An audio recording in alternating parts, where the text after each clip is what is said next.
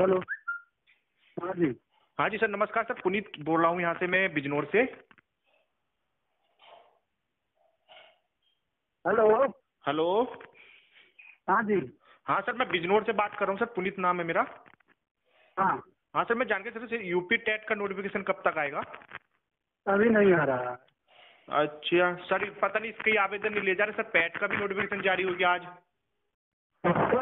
ये जो पैट होता है UP triple S C PET होता है उसका भी नोटिफिकेशन जारी कर दो और आज ही से आवेदन शुरू है। तो सर जब जब कोरोना काल में सर लॉकडाउन में बे आवेदन कर सकते हो सर यूपी टेट वाले क्यों नहीं? उसमें तो और ज़्यादा आवेदन होंगे। पैट पैट क्या चीज़ है। सर ये PET UP triple S C PET होता है जिसमें लेखपाल वीडियो जो भी है जो कैंडिडेट उसको पास करेगा वही उसमें आवेदन कर सकते जैसे जैसे एक पात्रता परीक्षा यूपी टेट की है ऐसी पैट की है। पैट किस विभाग से संबंधित है?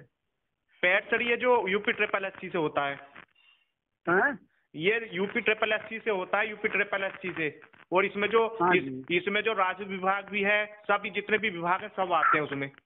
हाँ ठीक है तो ठीक है उनकी जारी हो गई है तो उनके और उस वो, वो सर वो जो वो जो होता है सर नेशनल लेवल पे होता है उसमें कम से कम एक करोड़ फॉर्म भरा जाएगा। तो सर जब कैफ़े बंद होने पे बे आवेदन कर सकते सर यूपी टेट वाले क्यों नहीं? अब इसका जवाब मैं आपको नहीं दे सकता ना आप हमसे पूछ पाएँगे इसको।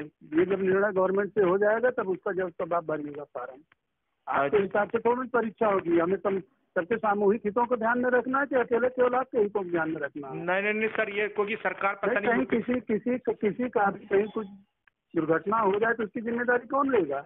न सर वो तो पैट वाले जो एग्ज़ाम का फॉर्म भरेंगे उनके साथ भी हो सकती है सर। पैट पैट से हमसे इससे मतलब नहीं है। हम अपने अपनी परीक्षा के संबंध में जानते हैं पैस से हमसे नहीं जानकारी है। हमें उसके संबंध में हमें कोई होता है और सभी सर निर्णय जब गवर्नमेंट का होगा तब आपको पता लग जाएगा उसके अनुसार कार्रवाई होगी।